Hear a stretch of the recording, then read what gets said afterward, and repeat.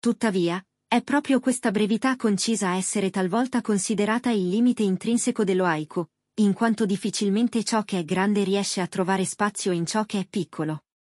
Ma tale assunto, pure ipotizzabile a seconda dei casi, viene del tutto azzerato nei componimenti di Yotsuba, dove lo haiku non è più ciò che intende esprimere, quanto ciò che intende indicare. Proprio come nel celebre insegnamento zen del dito che indica la luna, dunque, lo haiku si fa dito, e nel leggere i singoli componimenti c'è chi scorgerà la luna di volta in volta indicata e chi, per forza di cose, si fermerà a osservare il dito.